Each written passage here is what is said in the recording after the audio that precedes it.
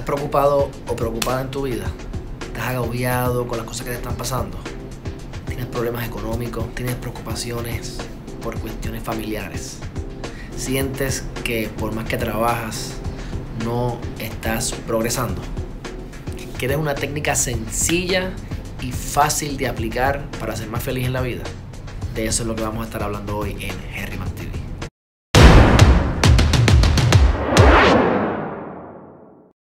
Hey, Alejandro Herriman con Herriman TV, trayéndote consejos para que tomes acción y desarrolles al máximo tu potencial.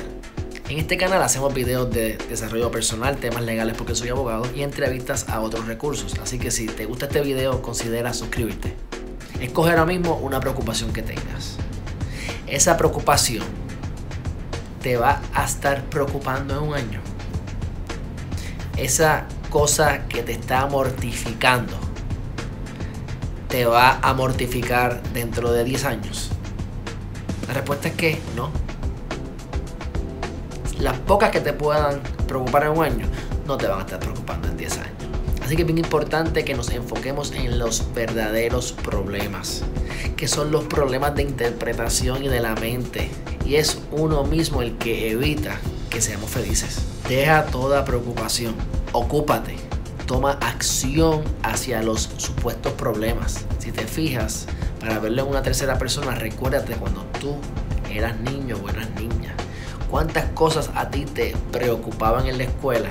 El nene que no te quería, la nena que no te hacía caso, o viceversa, o que me voy a poner mañana para el field day o para el día de juego. Ese tipo de cosas que nos causaban muchas preocupaciones ahora mismo son insignificantes. Igualmente, ese problema que tengas ahora es totalmente insignificante. Ataca los problemas. Te debes preocupar por los problemas. Cuando tienes una situación que te preocupa, va a ser peor si te preocupas que si simplemente te ocupas y tomas acción. Otra razón por la cual no te debes preocupar por los problemas es porque si el problema tiene solución, ¿para qué te vas a preocupar? Resuélvelo busca la manera de resolverlo, toma acción.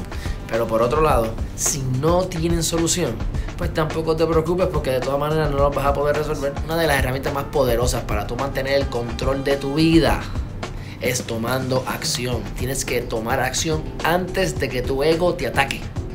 Cuando estés preocupado o preocupada, imagínate en el lugar donde te encantaría estar. Si te gusta la playa, en la playa, en la montaña, en algún país que has estado o que te gustaría estar. Imagínate que estás en ese momento y comienza a buscar la manera de sentirte bien. Si tú estás visualizándote en la playa, por ejemplo, si te gusta mucho la playa, eventualmente te vas a empezar a sentir bien. Es tener la disciplina de poder mantener el pensamiento en esa imagen clara en tu mente.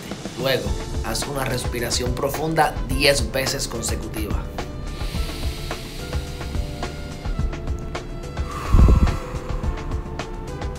Repítelo así sucesivamente y verás cómo vas a estar mucho más tranquilo o tranquila al finalizar ese proceso. Vas calmando tu mente con tu respiración.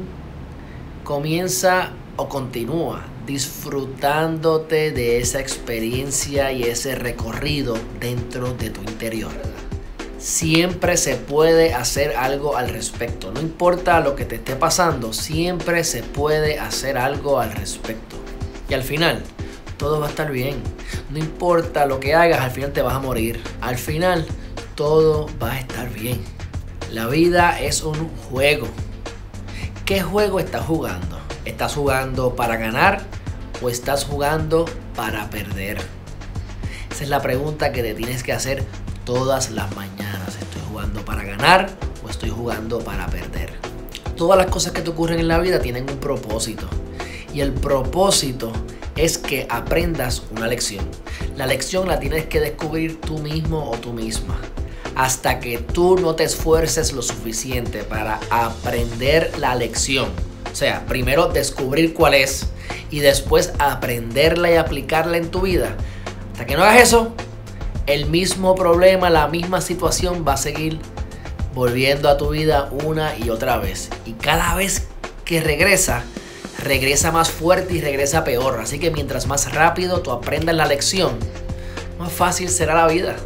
Jamás vas a aprender la lección con remordimientos, con odio, con tristeza, con depresión. Así que es más fácil que comiences a buscar la manera de alegrarte con el ejercicio, por ejemplo, que te dije, de la respiración y visualización.